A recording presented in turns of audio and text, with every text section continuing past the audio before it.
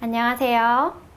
In this episode, we will learn how to say I'm sorry in Korean. We say 미안해요. 미안해요. 미안해요. A simpler way to say to your friends or people younger than you, we say 미안해. 미안해. Without yo in the end. 미안해. 미안해.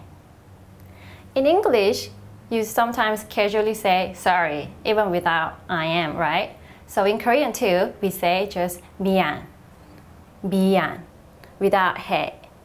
So 미안. You can just say 미안. Let's look at the formal way. We say 죄송합니다. 죄송합니다. 죄송합니다. 죄송합니다. Let's say you make a mistake at work or when you have to say I'm sorry to people older than you or someone you don't know well, you say 죄송합니다, not 미안해요. There's a Korean song that I like. The title is 미안해요.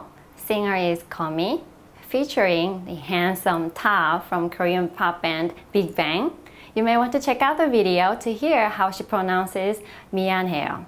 And the link is below. For more information, please check out my website, koreangirlinsg.com. If you want to learn more, please check out my other episodes here. Monkey see, monkey like, monkey do. Banana Mana TV.